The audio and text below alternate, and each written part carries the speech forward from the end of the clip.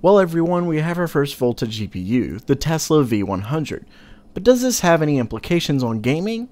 Plus, we've got some new leaks on the rumored 16-core 32-thread Ryzen HEDT CPU, so stay tuned.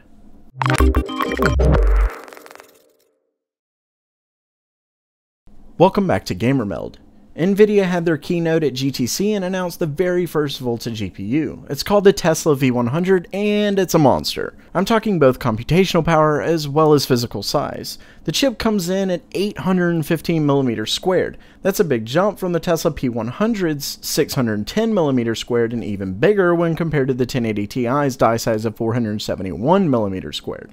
Now, it's important before we get into specs that this isn't a GTX card. The workloads of higher learning HPC chips are different and therefore require different specs than that of consumer cards for gaming. With that said, we might be able to get a slight idea of what to expect when comparing it to the latest gen Tesla, the P100.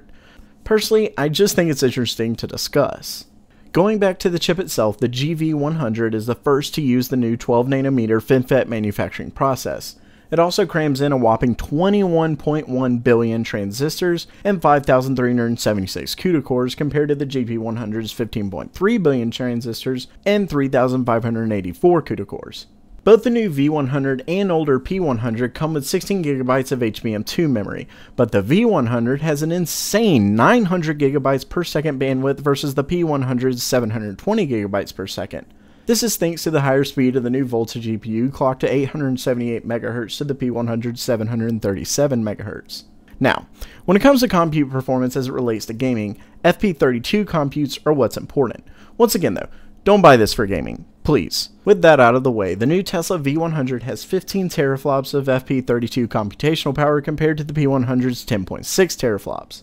There's definitely a much bigger jump going from the P100 to the V100 than going from the 8.74 teraflops of the Tesla K80 to the P100. So that's nice considering performance jumps look to be slowing down quite a bit over the generations. The V100 is also more efficient as it's able to utilize this power while maintaining the same 300 watts TDP, well at least for the standard dual slot design.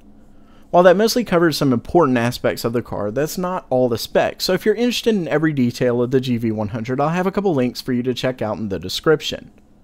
Next up is some interesting leaks that just dropped regarding Ryzen's rumored, and more than likely true, 16-core CPUs. They're supposedly going to be officially announced at the upcoming Computex. The new leaks are showing off two 16-core 32-thread CPUs running at a base clock of 3100 MHz and a boost of 3600 MHz. That's, um, how do I put it, unbelievable considering these are 16-core processors. It's quite clear AMD wants to come swinging if these leaks really do represent upcoming HEDT processors. So while I know that's a really short video, what do you think of the new V100? Do you think it's a fantastic jump from the previous P100? And is AMD going hog wild with the rumored HEDT CPUs? Let me know in the comments below. That does it for now. If you liked the video, don't forget to subscribe by clicking on the round icon in the middle. You can check out the most recent video and suggest a video to the left. Thanks so much for coming, and as always, have a great day.